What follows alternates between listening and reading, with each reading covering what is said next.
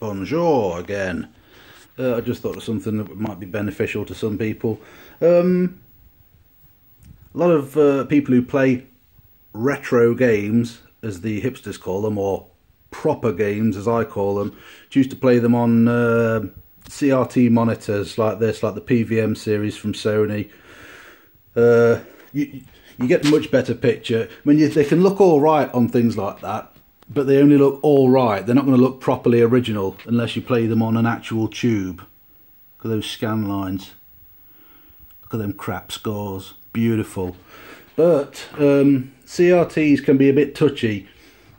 Damn focus, honestly. Um, even something as simple as changing its orientation because I've got a vertical shooter on the Neo Geo so I flipped this on its side yesterday and sure enough there was a green haze down this end uh, this morning so I thought mm. so I had to use the old degaussing coil so I'll show you about that in a minute but yeah it's basically about I mean it, you, you can even if you accidentally put a magnet near your screen like that oops you know you get funny coloured screen funny coloured, funny coloured spots on the screen and um, it's not the end of the world. You can fix it with a degaussing coil, which is pretty damn cheap. Got this one off eBay in America. It was about $40 or so. And basically they just create a very powerful electromagnetic field which uh, makes the um, makes the electrons sort of forces them to realign don't scrimp on the uh, step down if you get an American one. I uh, I used a 45 watt step down transformer when I first tried to use this and after about 10 seconds there was a pop and the smell of burning peanuts and uh, if you smell burning peanuts you know you you fucked it up. So that one's 150 watts and that does it fine and dandy. So how you do it is uh, you start quite far away from the monitor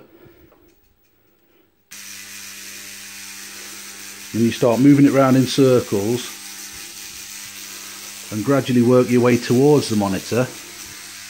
You'll see it start to affect the picture now.